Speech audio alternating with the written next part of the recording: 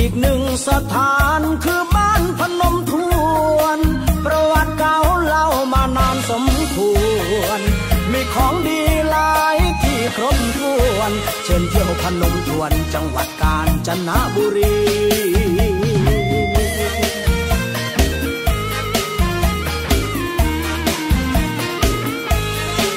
ประวัติเก่าเล่าต่อกันมาตั้งแต่ยุธ ชธานีพนมทวนเมืองหน้าด่านแห่งนี้ ถูกโจมตีเจดีวัดว่าแต่พังด้วยสายน้ำยังมีมนต์พลัง พระท่านยังไหลลอยทวนน้ำมา ชาวบ้านนั้นเกิดศรัทธานิมนต์ท่านมาขึ้นประดิษฐานนิมนต์ท่านเป็นพระประธาน วิหารโบสถ์ของวัดบ้านทวนเจดีย์พ่อปู่สมิงดำ บอกย้ำถึงความเก่าแก่นานแล้ว ชมของเก่าที่วัดสาแก้ว แล้วชมสะพานสายน้ำแห่งความเป็นมา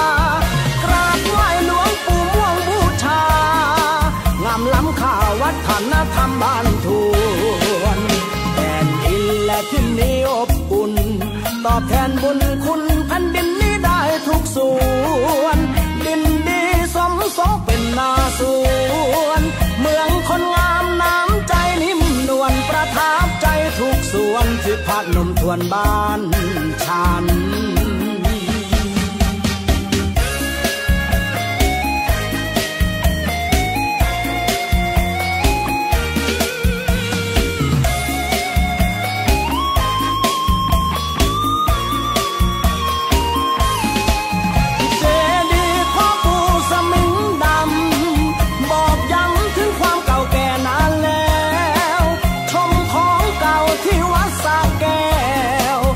ชมสะพานสายน้ำแห่งความเป็นมา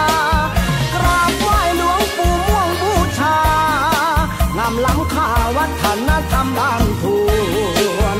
แผ่นดินและที่นี้อบอุ่นตอบแทน